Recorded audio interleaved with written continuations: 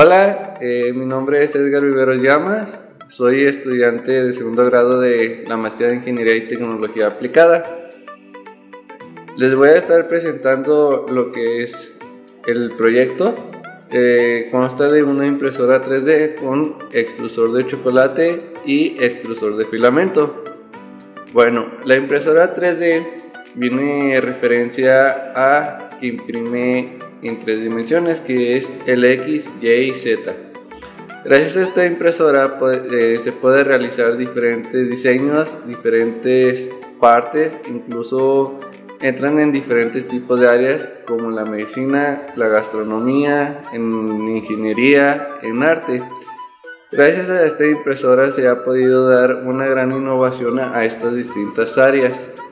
Lo que consta de esta impresora es puede imprimir de manera de filamento y con chocolate comestible.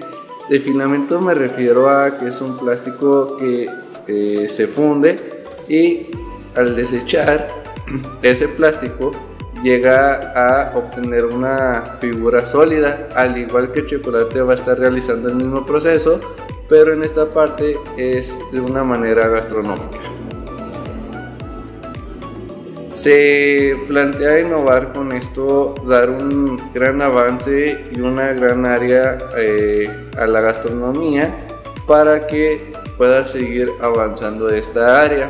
Gracias a esto, el usuario podrá estar imprimiendo de, manera plástica y de manera de chocolate. Incluso para los niños pueden crear su eh, imaginación de manera física.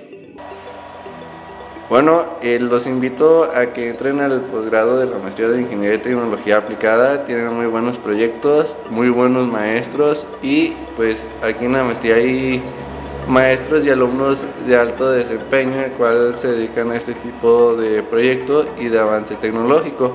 Uno como alumno tiene muchas ventajas ya que obtiene un gran conocimiento y aprende demasiado que mm, es una increíble, nos hacen ver la capacidad que tenemos nosotros los alumnos.